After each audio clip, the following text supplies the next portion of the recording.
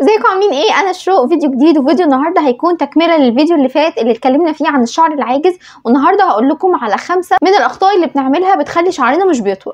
الخطأ الأول هو عدم الترطيب الكافي للشعر والطرق وإهمال استخدام المرطبات زي البلسم وحمام الكريم وال leave-in ال leave-in سواء كان سيرم أو كريم تصفيف الحاجات دي كلها بترطب الشعر وبتغلفه وبتخلي فيه طبقة حماية للشعراية من إن هي تتقصف أو تتكسر.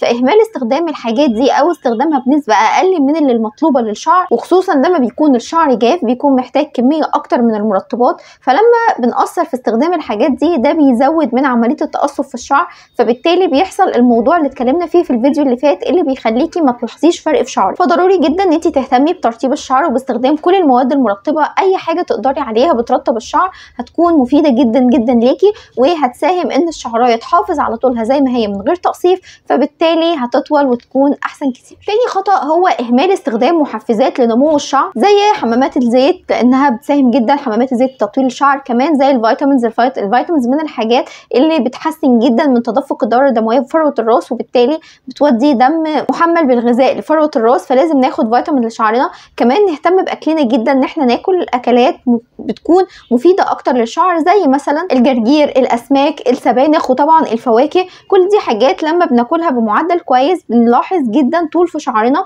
وصحة وحيوية في شعرنا تالت خطأ هو إهمال مساج فروة الراس أو مساج الشعر إن الشخص يعمل تدليك لفروة راسه كل يوم بالليل مرة أو كل مرتين في اليوم مرة الصبح ومرة بالليل. المهم إن انت لازم تحافظي على إن انت تعملي مساج لفروة راسك لأنه بيكون من الحاجات المحفزة جدا جدا لتدفق الدورة الدموية في فروة الراس. فبالتالي الشعر بيطول أحسن وأسرع. وأنا كنت عاملة لكم فيديو قبل كده عن أدوات مساج الشعر أو أدوات التدليك بتاع فروة الراس دي. لو عايزين تتفرجوا عليها عشان تعرفوا الأدوات دي مفيدة ولا مضرة يعني تستخدموها ولا تعملوا المساج بايدكم هسيب لكم ال link بتاع الفيديو في ال description وفي حرف ال i رابع خطأ هو إهمال قص الأطراف المتقصفة وبرده على الناحية الثانية هو الأفورة أو الكثره من قص الأطراف المتقصفة. بمعنى إن شعر الناس كلها ملوش معدل واحد ثابت للنمو. في ناس ممكن شعرها يطول في الشهر سنتي في ناس ممكن شعرها يطول كل 3 شهور سنتي في ناس ممكن شعرها يطول في السنة سنتي أو 2 سنتي. فمعدل النمو مش ثابت. علشان كده بلاش نروح نجري ورا الناس اللي بتقول قصوا الشعر مرة كل 3 شهور قصوا الشعر مرة كل 6 شهور.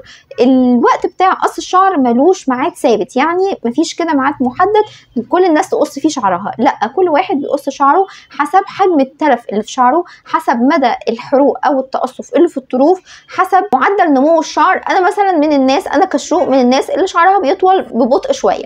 فعلشان كده ما ينفعش أروح أقص شعري كل شهرين ثلاثة لا ممكن 3 شهور 6 شهور سنة ممكن حسب ما بلاحظ إنه الطروف بدأت إن هي تتأذى أو بدأت إن هي تتقصف أو بدأ الشعر إن هو يبقى شكله كده تالف ومحتاج إن هو يتقص علشان الطروف تتألم. فبالتالي لما بتقصي الطروف ده بيحافظ على حيوية الشعر فبالتالي بيخلي الشعر يطول بمعدل أحسن. كمان الأطراف المتقصفة دي لما التقصف بيبدأ فيها من تحت لو ما قصناهوش بسرعة التقصف بيبدأ يطول ويطلع كده لفوق ويعدي في الشعر كله ويزيد يزيد يزيد معانا. فبالتالي الحتة الصغيرة اللي كانت ممكن تتقص قد كده لما تطول والتقصف يبقى في الجزء جزء كبير جدا من الشعر ده بيخلي الحتة دي كلها تتقطع من الشعر وتتكسر ويحصل تقصيف فيها فده بيأثر الشعر جدا. فلازم تكون عندنا هي الجايد لينا أو هي المرشد بتاعنا تقول لك إمتى تقصي شعرك إمتى ما تقصيهوش إمتى تهتمي بالطروف إمتى تشيلي الطروف وهكذا. وبرده اللي ما شافش الفيديو اللي فات بتاع الشعر العاجز لازم ان هو يشوفه لأن هو هيفهمه جدا جدا طبيعة الشعر وإزاي إن إحنا نفهم شعرنا